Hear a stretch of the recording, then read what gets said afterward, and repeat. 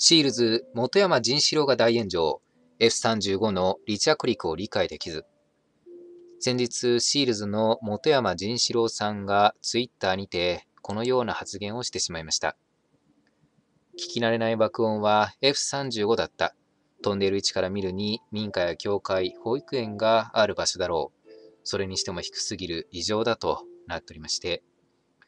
この本山さん、こういった写真も投稿されてるんですが、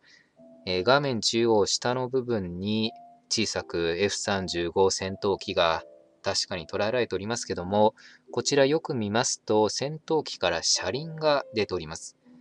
ですので、この F35 は離陸もしくは着陸するために車輪を出して低空を飛んでいると思われるんですが、本山さんはこういった F35 戦闘機を含む航空機が離陸をするときや着陸をする際に、いきなりですね、エンジンをつけた途端に空高く飛行できると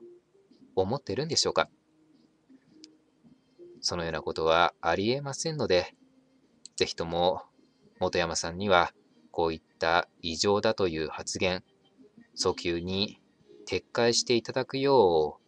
うお願いいたします。以上になります。ご清聴いただきありがとうございました。